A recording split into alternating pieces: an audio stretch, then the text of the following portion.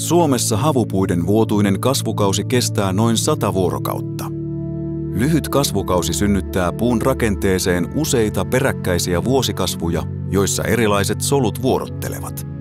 Keväällä puun pintaa lähellä olevaan kasvukerrokseen syntyy suuria ja ohutseinäisiä putkisoluja.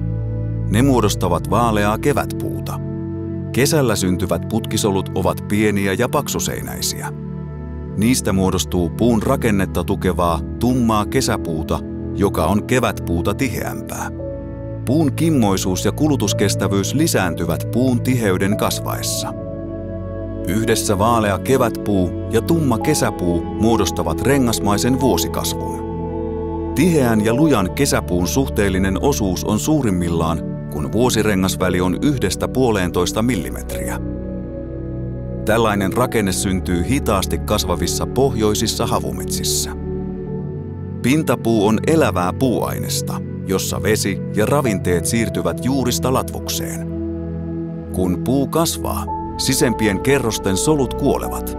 Näin muodostuva sydänpuu sisältää hartseja ja pihkaa, jotka suojaavat puuta laholta ja kosteudelta. Metsäfibren sahoilla tukit ja lopputuotteet lajitellaan tarkasti loppukäyttökohteen mukaan. Kuusen pintapuun käyttökohteita ovat muun muassa ulkoverhouslaudat. Männyn sydänpuuta käytetään esimerkiksi ikkunoiden ja ovien puitteissa. Korkealaatuista sahatavaraa pohjoisen puusta. Metsäfibre.